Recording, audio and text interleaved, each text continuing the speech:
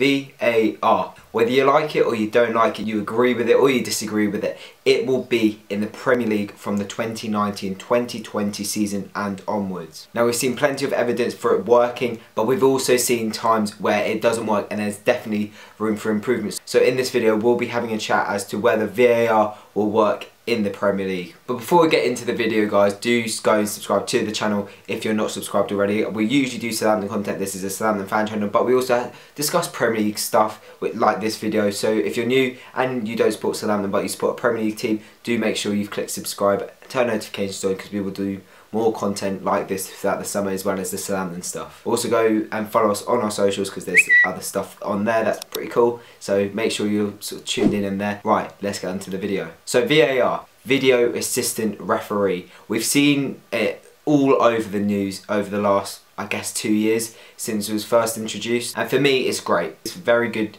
piece of technology but there's still improvement to be made. So in this video I'm just going to sort of discuss the positives, the negatives and so where it can improve, where it will succeed in the Premier League next year as we will be seeing it in every single game of the upcoming campaign.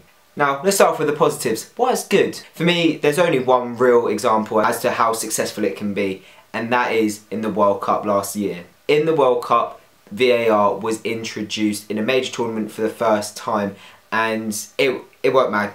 It worked wonders for me. I think the most amount of penalties were awarded ever in a single World Cup, which is pretty clear because obviously you got VAR there to sort of go against the original decision made by the referee. And obviously VAR made all the correct decisions, you know, penalties that should have been penalties that were originally missed by the referee on the pitch at the time in whichever game it was, you know, he went over, had a look, and sort of rescinded his original decision and used VAR to make the correct decision. And that's what we want to see in the Premier League. There were so many mistakes by referees in the Premier League last season and the seasons before that. It's actually unreal. Best league in the world in terms of the quality of the football, best league in the world, but refereeing wise, it's nowhere near. And that's where I think VAR will help. I do think that when there are decisions that aren't being made like for example, in terms of last season, uh, this isn't even because I'm a Southampton fan. The big one for me was Charlie Austin's disallowed goal, and obviously the rant that came from it. it wouldn't have been so sort of public if he hadn't done the rant, but he did, and I think fair play as well. You know, it was a goal. It was a goal that could have given a team struggling against relegation very important three points, but in the end, it didn't. They had to settle for the point, and I think VAR would sort of go against that because you know the players argue. I think for any team when they don't get a decision, when they don't get a penalty that looks to be a penalty, you know players argue, and if they really do feel the referee that is that maybe they've got it wrong, they'll have a look, and that's why VAR can work in the Premier League.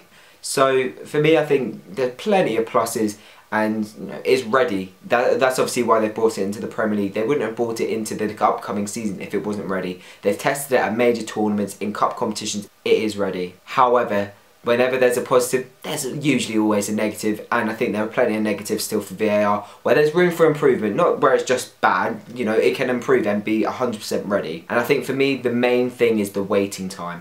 We said it a couple of weeks ago with the UEFA Nations League, the waiting time is absurd. I mean, England had two games where they had goals disallowed, and the waiting time for the decision of the goal to be rescinded, it, it just takes too long. We were waiting there, I think it was about five minutes for Lingard's goal against the Netherlands, and, you know, at the end of the day, right, it works. It wasn't a goal, he was offside, fair enough, but it has to be a much more smooth process. Because, I mean, we were watching it on TV. Imagine if you're in the stand and you're waiting five, six, seven, maybe even eight minutes and it's not on the screen, you've got no clue what's going on and you're just waiting there.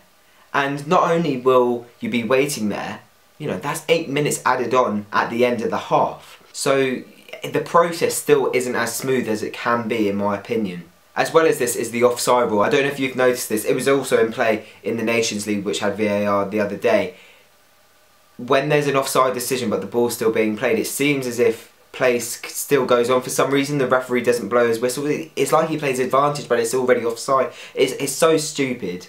And so I think that's another thing where the game sort of slows down a little bit. It's not very smooth. And that's definitely where there can be some sort of improvement if you know when it's offside when the linesman flags for offside it's offside, you blow your whistle, the referee lets play go on, it's a free kick to the other team, it's really not that difficult. It's not perfect, I think that's what I'm trying to get across, it's not perfect, but it, don't get me wrong, I think the technology is fantastic and it definitely can be perfect. And for me, I think it's going to be really interesting to see what happens. I don't know if you saw when the season finished, but the VAR table came out, basically meaning what the table would have looked like if all the incorrect decisions made had been overturned by VAR.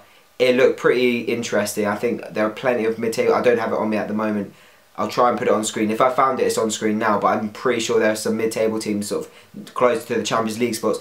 It sort of disrupted the top six mould, and I think we could see that this season when smaller teams don't have the sort of I don't want to say bias, but it does feel like there is a bit of a top six bias at the moment in the Premier League, and that's been quite relevant for the past maybe three seasons. And so now I feel like that might distinguish, honestly, because referees can't hide. You know, if it VAR says it's a penalty, and they can clearly see when they've gone to have a check it's a penalty you know you can't rescind it you can't just avoid that you have to give the penalty so I'm looking forward to that as a fan of a team outside the top six obviously I'm looking forward to that I'd love to see the top six mold get broken it'd be very interesting really good for the league but that is all I've got to say. It's a short video. It's just a little one that I needed to make because I think it's a big debate at the moment. You hear a lot about VAR still in the news and I'm fed up of all the refereeing talk over all the poor decisions that have been made, the amount of penalties that should have been given last year, it, it's unreal. So hopefully VAR can help it. Obviously the Premier League doesn't start for another, what's it, almost two months, just under two months. So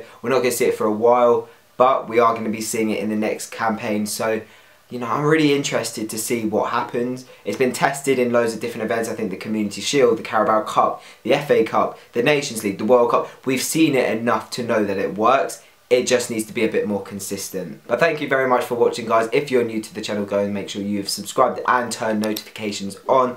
Let me know where you stand on VAR. Would it help the Premier League? Will it probably ruin the Premier League to an extent? You know, is it another contributing factor to the modern football sort of argument that's going against the game that we do love? Make sure you've liked the video as well and followed us on our socials and we'll see you in the next video.